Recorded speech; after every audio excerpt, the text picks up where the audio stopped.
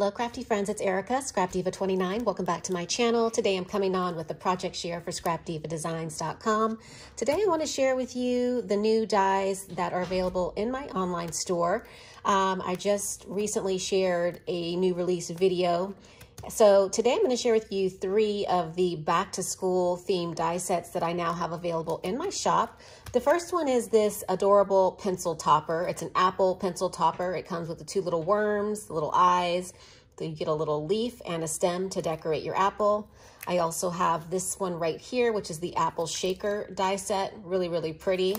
And then the 3D crayon gift box, which I am going to share with you a tutorial at the end of this video. So stay tuned for that. If you've already purchased this and want to learn how to put it together, it is really super simple to put together. All right, so let me show you the shaker apples, which I have right here. So, so pretty and it's really pretty cut out of that red glitter cardstock. I just added some white little sequins bits in there and you have an adorable shaker embellishment ready to go on a project. So I've got those. So I wanted to share that. And then the apple pencil topper looks like this. I cut it out of some green, uh, green glitter cardstock. I used the darker green for the stem and the leaf. You can go back in with a little worm and a little sentiment and stick this in a goodie bag and give it to a teacher or a little child's little back to school gift would be so adorable sitting on their desk when they walk in first day of school. Uh, so I'm loving this little topper right here. And then let me move on to the 3D uh, crayon box. I did make one. So this is the first one that I have created. And as you can see, it is a really great size.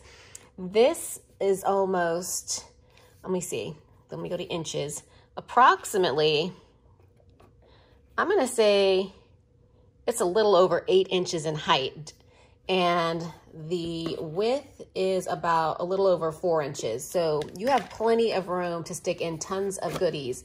You can stick in your little crunkly, crinkly paper, lots of little um, chocolates, goodies for the teacher, whatever your heart desires. As you can see, the little lid comes off. I decorated it with this really fun um, pattern paper. On the front, I used the heart rosette that is available in scrapdivadesigns.com. I also use the Apple pencil topper um, behind the rosette or on top of the rosette. And in the little holes, I just tied some little seam binding to create that little bow. And then the word crayons comes with the die set. And instead of just putting it straight up and down, I just layered it on the apple. I just thought that was really fun. And now I have this adorable back to school gift ready to go. And it doesn't have to be for teachers. It could be for the administration in your, in your school. If you're a class mom, you know, you have to volunteer in the offices and things like that. So this would just be a really fun gift to give to the administration on those teacher and administration appreciation days. All right, so I'm gonna jump in and start the tutorial. If you have any questions, just ask. Uh, the links will be down in the description box below, scrapdivadesigns.com. And um, stay tuned for the tutorial.